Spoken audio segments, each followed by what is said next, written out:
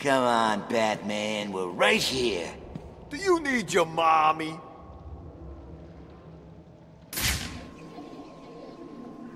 What are you waiting for?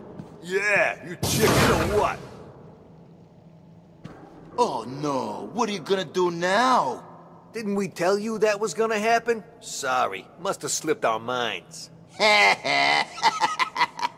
Maybe you should go look for a can opener. Hell, why bother? Nothing's getting through the security gate. You're trapped out there. you should just turn right round and get the hell out of here. Yeah, you ain't gonna get past this thing. It's the best Wayne Tech can offer. It comes with a personal guarantee from Bruce Wayne himself. I heard he's in here too. Maybe you should just go ask him for the combination.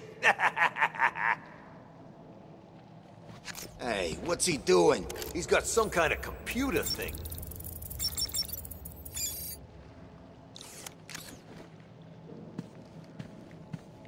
How'd he do that? You said he couldn't get through. Shut up and hit him! I'll kill you, bat freak!